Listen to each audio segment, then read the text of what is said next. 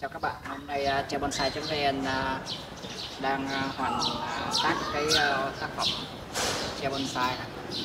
thì uh, hiện tại thì cũng đã ép lá uh, tương đối tốt và canh chỉnh lại cành uh, đây một ta là một cái uh, tác phẩm uh, bonsai khá là ưng ý. Nên là uh, bonsai.vn làm đường giới thiệu với các bạn cái tác phẩm này à, mời các bạn cùng ngắm thì uh, hiện tại thì cái tác phẩm này có hai cái uh, hai cái cành rất là cân đối.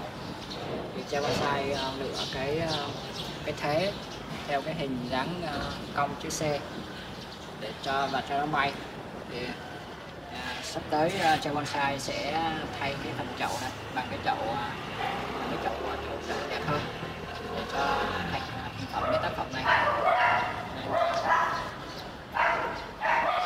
bạn cùng ngắm à, tác phẩm. Khá là đẹp và ưng ý nha các bạn.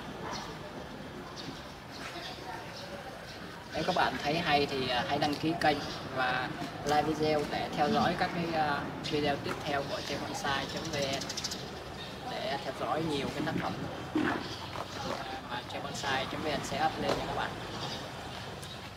Cảm ơn và chào tạm biệt các bạn.